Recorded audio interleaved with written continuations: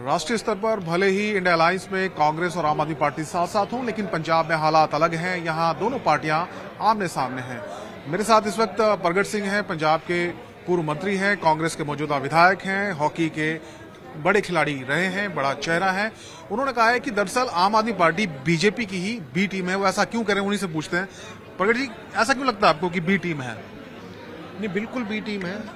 मैं पॉलिसी की वजह से कहता हूँ। बाकी मैं कभी ऐसे कभी नहीं लूज बात करता जिससे वो लगे कि हाँ भी मैं शायद ऐसी कोई लूज बात कर रहा हूँ। कुछ उदाहरण नहीं दिया बेसिकली देखो जब से शुरू हुए हैं चाहे यूनिफॉर्म कोड की बात हो चाहे शाहीन बाग की बात हो चाहे आर्टिकल 370 की बात हो चाहे और भी जितने बड़े इश्यूज़ हैं आप कभी देखा है कि ये उनसे डिफर करते हैं? अगर डिफर नहीं करते तो एजाज भी उन्हीं की है 2013 में, क्योंकि उनमें से कुछ लोग बीजेपी में सीधे चले गए, कुछ आम आदमी पार्टी में आ गए।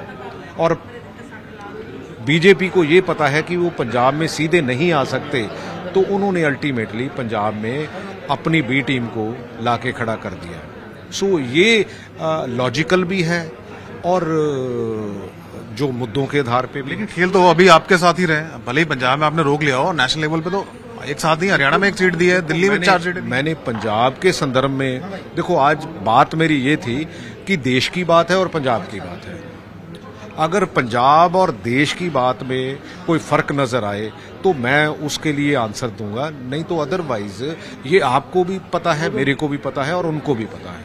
क्या आपको लगता है कि राष्ट्रीय स्तर पर जो फैसला हुआ अलायंस का नहीं होना चाहिए था? गलत था आपने नहीं मैं पंजाब के संदर्भ से तो बिल्कुल नहीं कहता कि ये नहीं होना चाहिए था और हमने नहीं होने दी और उसकी शाबाशी आपने कहा हमें मिलनी चाहिए। तो ये बात आपको आला कमान को तो कन्वे किया होगा? बिल्कुल कन्वे की है इसीलिए तो ये नहीं हुआ। अगर आला कमान को कहते कि आप देख लो अगर वो कर देते तो हम यहाँ फेस करने लायक नहीं रहते। दिल्ली में यही दर्द आपके अध्यक्ष का था अरविंदर सिंह लवली छोड़ के पार्टी इसी आधार पर छोड़ गए। हो सकता है उनकी कोई और समस्या हो ये तो वही आंसर कर सकते हैं। लेकिन आ, प्रगति जी जैसा आपने कहा कि नेशनल लेवल पर दूर रहना चाहिए था आम आदमी पार्टी कांग्रेस को क्या लगता है? वैसे मेरे निजी राय है कि दूर रहना चाहिए था क्योंकि ये कभी भी आ, मेरा ख्याल है कि जो सोच और जो नज़रिया कांग्रेस का है ये उसके साथ मेल नहीं खाता। एक बात आपने और कही कि चुनाव के बाद बीजेपी के साथ आम आदमी पार्टी जा सकती है? ये कभी कभी लगता है कि जो जैसे हालात बने हुए हैं जैसे डायरेक्शन जो है वो दिल्ली से भगवंत मान जी को आती है। मतलब बड़ी दिल्ली से छोटी दिल्ली नहीं वहाँ भी दो दिल्ली है। एक बड़ी है एक छोटी है। जैसी बड़ी दिल्ली से डायरेक्शन उनको आती है और वही काम करते हैं तो मेरा ख्याल है कि आने वाले समय में हो सकता है वहीं चले जाए।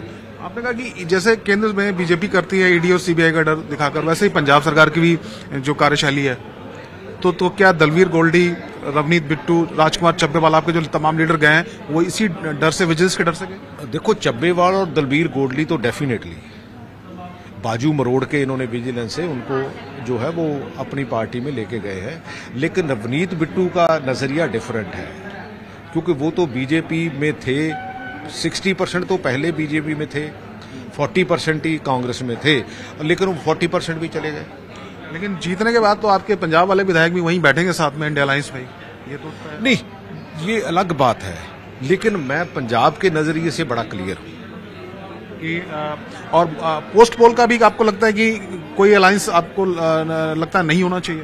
पोस्ट पोल में जो आप जीतने के बाद की बात नहीं, जीतने के बाद देखो, जो हालात बनेंगे, देखो बीजेपी के पास पैसे तो बहुत हैं, और वो जो जो करते हैं जो जो समझते हैं, सबको पता है, ठीक है ना? पता नहीं उसके बाद, क्योंकि देखो, वो सवा दो सौ नहीं, पार नहीं कर रही।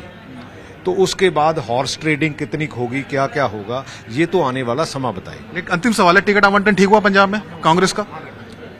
देखो हमेशा कहीं ना कहीं गिले शिकवे रहते हैं। मैंने कहा ये बड़ी इश्यूज़ है। इस पे हमें गुस्सा नहीं करना चाहिए। जब देश की लड़ाई है तो हमें आपसी गिले शिकवे भूल जाने चाहिए। लेकिन एक जून के बाद वो ज़रूर बात करेंगे। शुक्रिया। तो प्रगट सिंह बेबाकी से अपनी राय रखते हुए कह रहे हैं कि पंजाब में हमने आम आदमी पार्टी के साथ गठबंधन नहीं होने दिया और उनकी राय है कि राष्ट्रीय स्तर पर भी गठबंधन नहीं होना चाहिए।